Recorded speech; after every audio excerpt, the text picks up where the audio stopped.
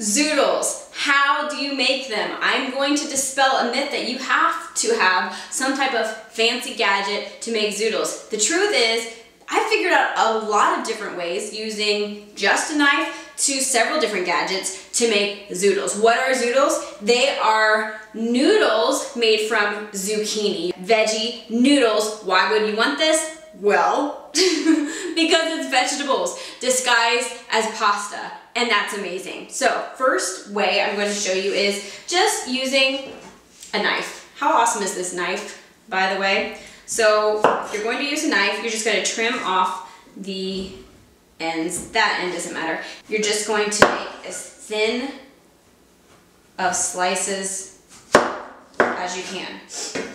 And so that's what I have. And this is obviously going to take a lot longer to do it this way.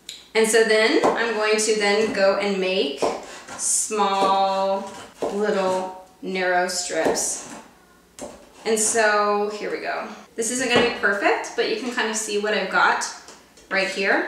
And you know, the nice thing about having a really long knife like this too, is I can get the whole length of the zucchini in one chop instead of having to kind of saw it back and forth. So you can see this is what the zoodles would be like if I was doing this method. And that's obviously, like I said, gonna take longer. The next option is going to be using a mandolin. And so I've got the julienne fry piece in there and then the straight edged piece. And so what I would do is I would take the zucchini, use the little guard,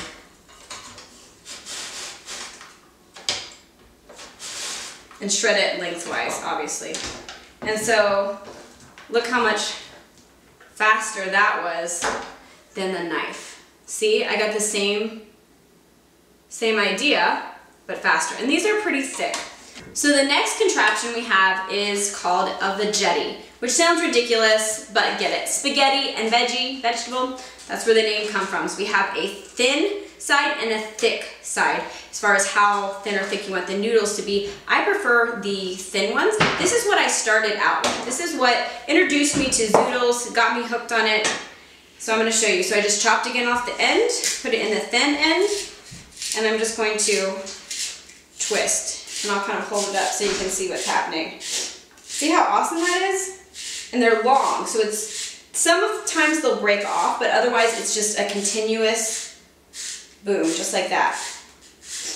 So that's what I used for a long time, but with five kids, seven people in my family, my hands would actually get really sore and I felt like it was taking a long time. And by that time I was so in love with zoodles that I thought, okay, it's been two years I think, it's time to take it up to the next notch. So as far as where you would get the Veggetti, you can get it on Amazon. I'm gonna provide a link so you can just go straight there. They're about 10 to $12 or at Bed Bath & Beyond. I've seen them think people have seen them at Walmart. I'm totally into Amazon. Amazon Prime, easiest thing ever. Okay, so when you are ready to be like all in vegetable noodle person, I use it for pho, I use it for like spaghetti marinara. You can, I mean, you can do it so many different things and it tastes like pasta, but it's obviously way, way, way lower, lower carb and way more nutrients than any type of pasta. You can eat zoodles raw, whether it has hot sauce or as like a salad, or you can cook them, saute them, and then they're, you know, warmer and they taste even more like pasta. Of course, you're gonna lose a little bit of your nutrient value.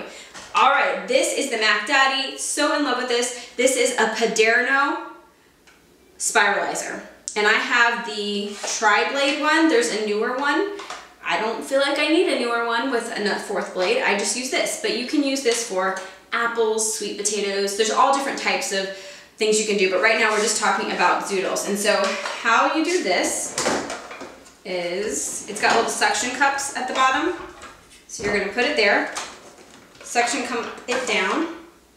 I'm gonna cut this off to give it a fresh end. And then I just take it, and there's a little round circular piece here, so I go like that, and then this has little spikies that go in there. And you guys, this is so, so easy.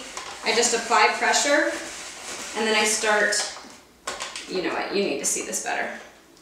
It'll fall on the table, but that's okay. I just Boom, how amazing is that? And these are actually thicker um, zoodles. There I have a piece that's even thinner. I actually think my kids used it and that's why I don't have it right here. I thought I had the thinner one. So it just has thinner holes and it will make thinner noodles, more like angel hair instead of linguine.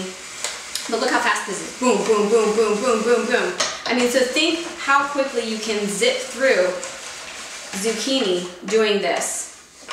I mean, amazing. It leaves this little crazy looking thing.